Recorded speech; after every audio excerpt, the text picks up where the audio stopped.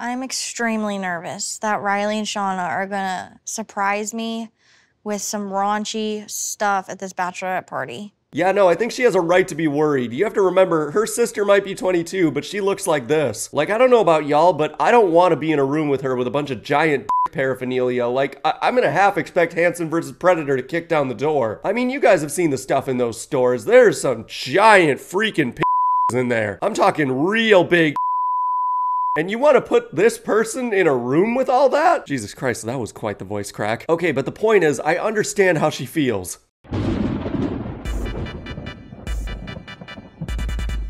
What's crack-a-lagging, everybody? It's your boy Thundross coming at you with that extra thick face cam and uh, ears big enough to hear China. But today I'm coming at you with the question, how is TLC still getting away with the Shauna Rae show? Just to be clear, I have no problem with the girl herself, but the plotlines TLC throws at us with what looks like an 8-year-old should be investigated by Chris Hansen. I'm not saying the producers look at bad things on their computers. I'm just saying, somebody, please, check the producer's computers. Before we begin the roast session though, uh, like and subscribe to the channel. As a lot of you know, I'm aiming for 10,000 subscribers before the end of the year, and I would love to hit that goal. But kick back, relax, and enjoy, and let's get to making fun of this stuff. I do not want it to be gross. I don't want it to be raunchy. Listen, I don't like victim blaming, but maybe don't have your bachelorette party on a reality show. Seriously, Big Ed should probably be in actual jail, but they keep giving him shows because he brings in ratings. What do you think they're gonna do with you? I'm just saying, I feel like there's a little logic missing here. Why don't we grab a pack of each confetti so that way she has to pick it out of her butt crack? Look, I know she wants to be seen more as an adult, but I, I, just feel like there are better ways. Like, has she even given addiction a try? Okay, but Shorty here deserves a lot more respect. Like, TLC, bro, if these plot lines were any more risque, they'd be a Blanche heavy episode of Golden Girls. She absolutely deserves to be treated like an adult, and definitely as a woman, but uh, you could just show her doing normal things. TLC, you've got a short girl here. I guarantee somebody's gonna tune in. You want two bags of the little confetti? Sure, that's more annoying. Hello. Can I see some ID? Woman, look, I'm sure it's very frustrating to constantly be ID'd at places, but you should just be thankful the guy didn't straight up call Child Protective Services, because that's what I would have done. Like, you see an eight year old walking around one of these shops, you don't ask questions, you call cops. Like, that is a child that's probably not in a healthy home. I'm just saying, maybe you should thank the guy for giving you a chance. Do I need to take it out for you? Or do you, like, do you need to scan it? No.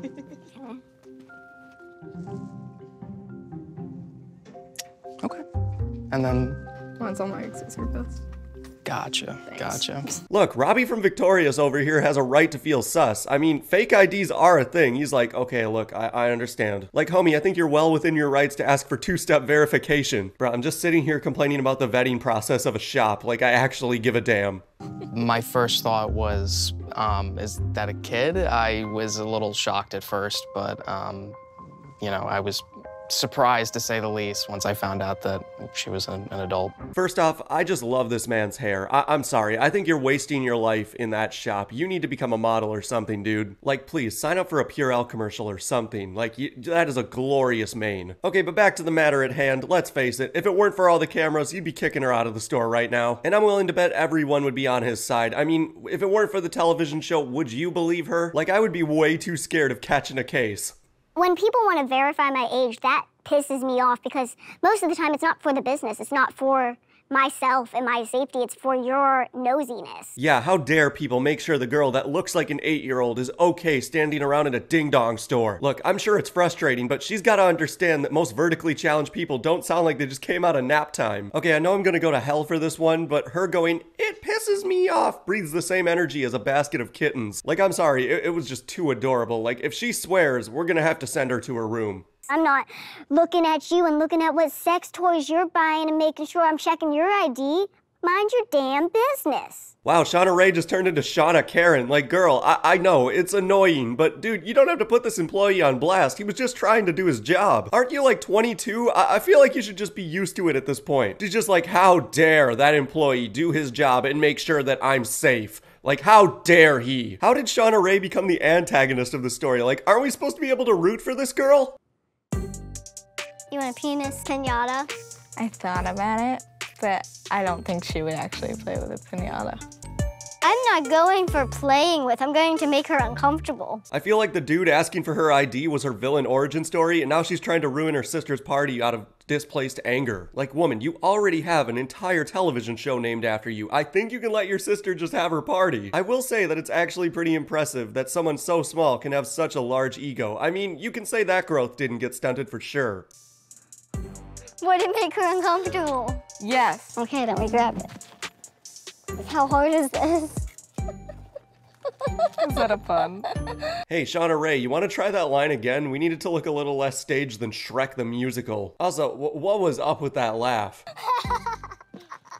I love that she wants to look like an adult. So to do that, she acts like a 10 year old. Like we get a girl, you think dicks are hilarious, but have you ever tried not acting like a child? Tara is definitely the most different between the three of us. Bruh. Yeah, uh, excuse me if I don't believe that. The raunchy envelope publicly. Like, I don't know. The Like- raunchiness. Yes, in like public or like with our family, like our parents. It's like she has something to prove. Oh, really? Uh, I can't think of a single reason she might feel like she comes up a bit, uh, short. Okay, but we've talked about this. There are better ways to come off as an adult. Have you tried severe depression? Ooh, or just have a really bad back. That's also a great prominent feature of growing up. Like she is an adult and she is able to talk about this stuff. You know, I actually do feel a bit bad for her because, I mean, let's face it, she probably doesn't have a lot of uh, experiences, and the few people that are actually into her don't belong around society. I'm not saying it's not already difficult to date, but compare yourself to her, and she's playing on expert mode. Like, any experience you've probably ever had is peaceful mode compared to what this girl goes through. I hope Tara's reaction will be good. It depends on the mood Tara's in, of course, though. If Tara's not in a good mood when we give her the gifts, she's just gonna throw them back at us. That's true. Do you think at any point they were like, hmm, maybe we should make this bachelorette party about our sister? I said it before, Shauna, Rae, woman, you have your own television show. I think you can let your sister have just this one. I guarantee you are still the main attraction to this family. You know, come to think of it, growing up, Shauna probably got all the attention from her parents. I mean, she still had these issues as a kid, and she was probably even shorter growing up. Imagine asking the two foot tall girl out to prom. Anyways, I'm gonna start wrapping this video up. Uh, I, I still feel like this TV show should not exist.